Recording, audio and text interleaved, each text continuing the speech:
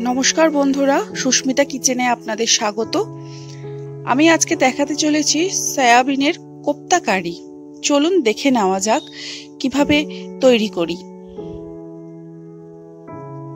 এর জন্য আমি নিয়ে নিয়েছি পনেরো থেকে ষোলোটা সয়াবিন। আগে থেকে সেদ্ধ করে নিয়েছি আমি। খুব সুন্দর করে একটা পেস্ট তৈরি করে নিতে হবে। আপনারা জানেন, আমি যে কোনো বাটার ক্ষেত্রে শিলনোড়া ব্যবহার করে থাকি।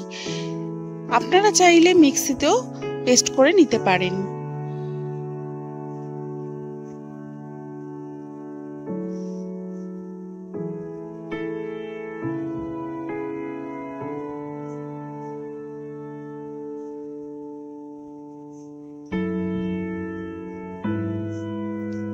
সয়াবিনটা আমার বাটা হয়ে গেছে। এবার আমি এটা তুলে নিচ্ছি একটা প্লেটে।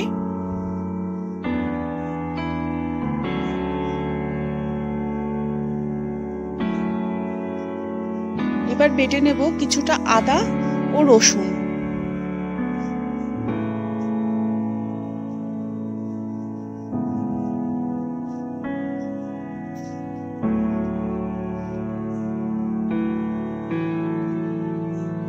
দিয়ে দিচ্ছি সামান্য গোটা জিরি। আদা রসুনের সাথে গোটা জিরেটা বেটে নিচ্ছি।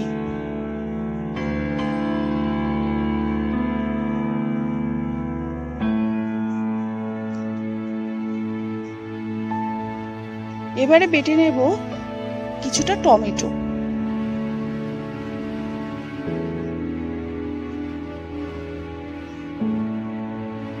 বাটা হয়ে গেছে টমেটো।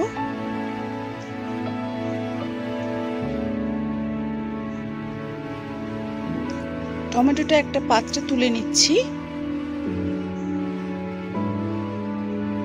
আগে থেকে সেদ্ধ করে রাখা আলু নিয়েছি সয়াবিন বাটা, লঙ্কা গুঁড়ো, হলুদ গুঁড়ো, জিরে এবং ধনে গুঁড়ো নিয়ে নিয়েছি। দিয়ে দিচ্ছি নুন।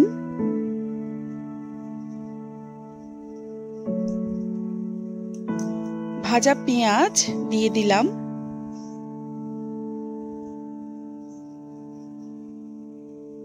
এবার সব একসাথে সুন্দর করে মেখে নেব।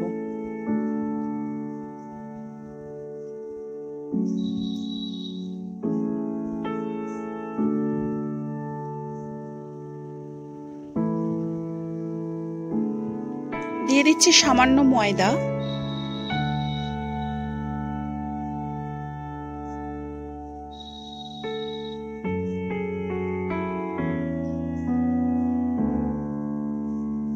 ভালো করে মেখে নিচ্ছি।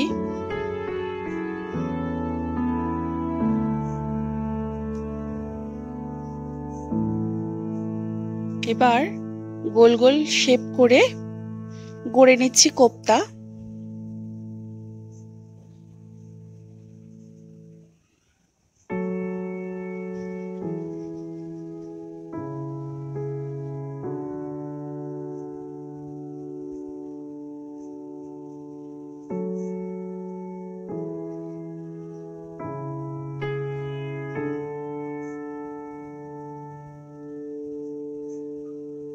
কোপ্তাগুলো ভেজে নেব এবার।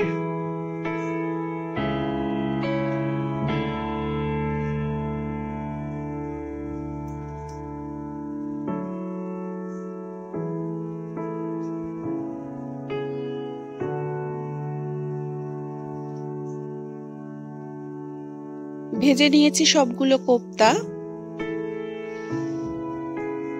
ওই কড়াতেই দিয়ে দিচ্ছি জিরে, গোটা জিরে। তেজপাতা। দিচ্ছি একটা আলু। একটা আলুকে ছোট ছোট করে কেটে নিয়েছি। এবার ভালো করে ভেজে নিচ্ছি। দিচ্ছি হলুদ।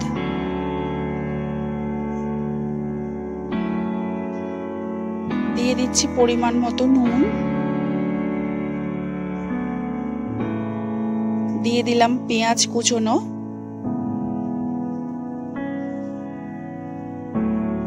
ভালো করে মশলার সাথে মিশিয়ে নিচ্ছি। দিয়ে দিচ্ছি গোটা জিরে, আদা ও রসুন বাটার পেস্ট।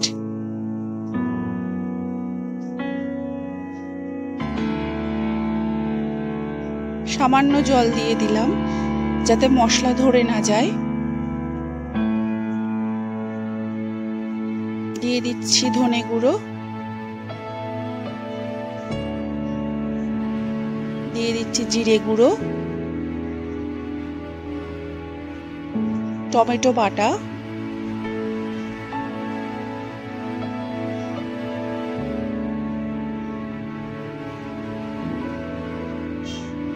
ভালো করে কষিয়ে নিচ্ছি। দিয়ে দিচ্ছি সামান্য টক দই।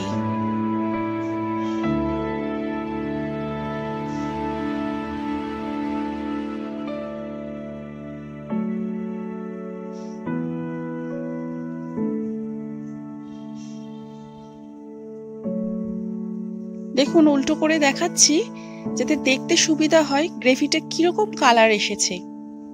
দিয়ে দিলাম জল।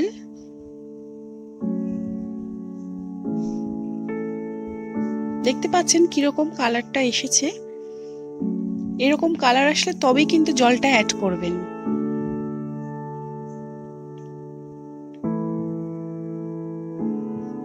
দিয়ে দিলাম সামান্য চিনি। এবার দিচ্ছি।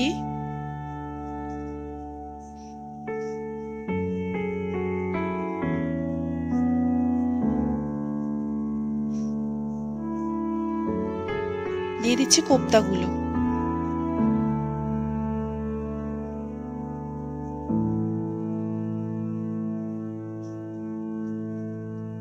আগে অ্যাড করলাম গরম মশলা গুঁড়ো। দিয়ে দিলাম কসৌরি মেথি।